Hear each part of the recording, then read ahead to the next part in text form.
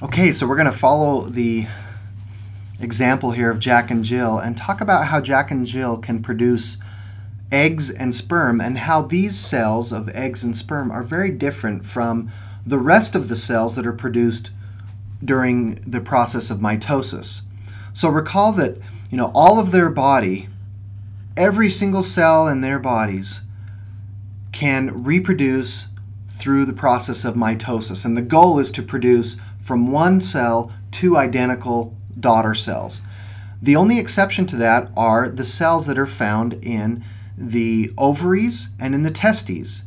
And the cells that, were, that are produced in the ovaries and the testes are the gametes or the sperm and egg. And, and this happens through the process of meiosis.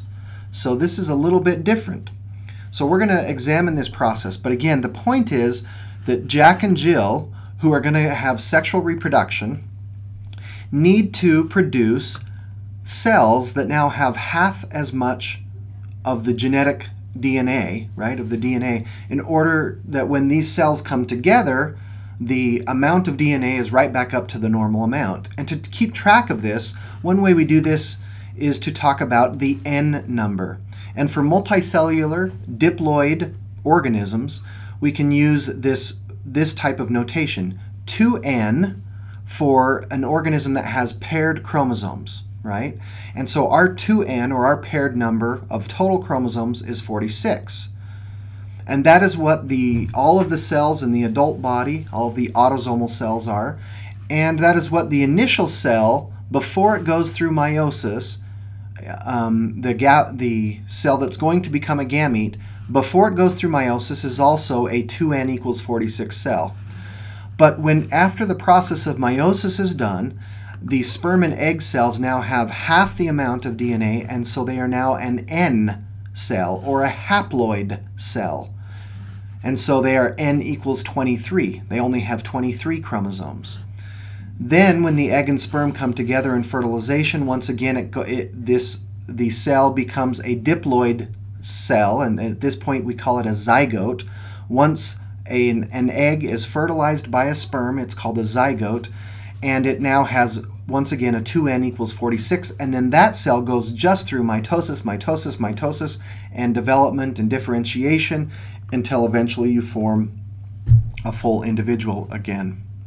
So we need to then learn more about this process of meiosis and the way to think about this is we're going to simplify this. Instead of using 23 pairs of chromosomes, we're going to start with just one pair of chromosomes. So here we have one pair of homologous chromosomes. And you can think about it that originally, you know, the red chromosome perhaps came from the mother and the, the blue chromosome came from the father of, of the person whose, whose these cells are, right? The chromosome then must first duplicate, or I'm sorry, the cell must first duplicate all of the chromosomes. And so the chromosomes get duplicated. And this occurs in the interphase of the cell cycle. So this is even before my, mitosis or meiosis has occurred. It's the same in, in all cells. Duplication of the DNA occurs during interphase in the S phase of interphase or synthesis phase. And then you now have still two chromosomes. We don't have four chromosomes here. These these chromosomes that were duplicated are still connected together, and so there are still only two chromosomes here, but double the amount of DNA from, from this original point. And we call these chromosomes that have now been uh, doubled, right, in, the, in their amount of DNA, they're called sister chromatids. So each part of those is called a sister chromatid, but we still have the homologous pair of duplicated chromosomes. Then the cell is now ready to go through meiosis. And meiosis has two stages, meiosis 1, meiosis 2. In meiosis 1, homologous chromosomes separate. Now this is crucial to remember this. In meiosis 1, homologous chromosomes separate. So when these chromosomes line up, they line up such that when these chromosomes are pulled from side to side, the red chromosomes that it has its du- that is doubled, right? It's it's a duplicated chromosome goes one way, and the blue chromosome goes the into the other cell. So at this point, we now have an N or haploid cell. So when homologous chrom chromosomes separate, you immediately now have the haploid condition. But then in meiosis, there is a second cellular division. And in the second cellular division, called meiosis II, sister chromatids separate. Now that should sound familiar because that's what happens in mitosis. In mitosis, you start off with a with a full diploid cell, it doubles its DNA, and then it just goes through one cell division and becomes uh, you know, an, ide- an identical cell to the original one, and sister chromatids separate in, in mitosis. That's all that ever happens. But in meiosis, it's in meiosis 2 that sister chromatids separate. So meiosis 2 is very much like mitosis, except that you start with a haploid cell. And then you end up with four haploid cells from one original cell. Now I want to look in, into detail at meiosis 1 and meiosis 2 very quickly. So in meiosis 1, it also has the same stages that are talked about in mitosis a prophase, metaphase, anaphase, and telophase and cytokinesis. But remember, in, in meiosis 1, homologous chromosomes are going to separate. During prophase, the homologous chromosomes also come in close proximity and they actually exchange tips. So you get blue chromosomes with red tips and red chromosomes with blue tips. This is called crossing over or recombination. And the sites of crossing over are called these are, are these sites here where the, the chromosomes kind of they cross over and then they're able to exchange and kind of swap tips. Um, that form that whole formation is called a tetrad. Then these chromosomes, which have now swapped tips, move along the midline such that one homologous chromosome is ready to go one direction and one homologous chromosome the other homologous chromosome is ready to go the other direction. And then homologous chromosomes are separated. Okay? And then you have telophase and cytokinesis, and now you have formed the two haploid cells. In meiosis 2, where we're starting off already in the haploid condition, this is very similar once again to mitosis because the, the chromosomes line up along the midline where each sister chromatid is getting ready to separate and to go into each part each opposite end of the cell. And as soon as those sister chromatids separate, you can now consider those sister chromatids being now their own chromosomes. And so now they are their, their, their own full chromosomes. And so you end up then with four haploid cells, um, each having a half set, right, of, of the initial DNA amount.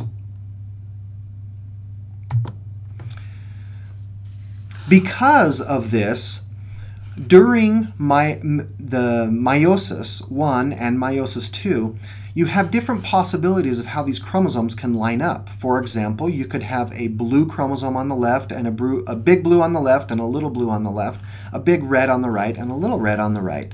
And when these are separated during meiosis 1, you're going to separate your homologous chromosomes, and so you're going to end up with all blues here and all reds here. And so the ultimate, after meiosis 2, you end up with a big blue, little blue, big blue, little blue, right?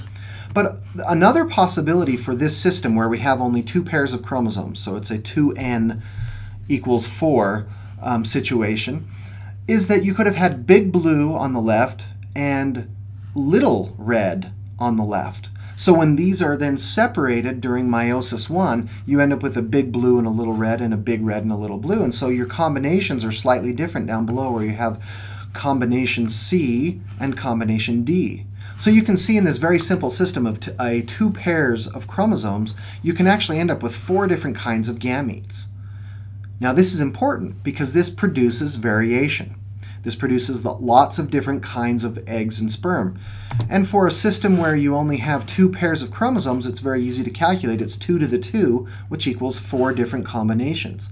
But for humans, we have 23 pairs of chromosomes, so it's 2 to the 23, which means you have 8,388,606 possible um, gametes. So there's lots and lots of possible gametes. This is why you never see you know, um, identical siblings from in from in um, two independent fertilization events. Obviously, identical twins can be identical, but that's one fertilization event. One egg, one sperm coming together, and then that initial zygote splits into two, and you get two individuals.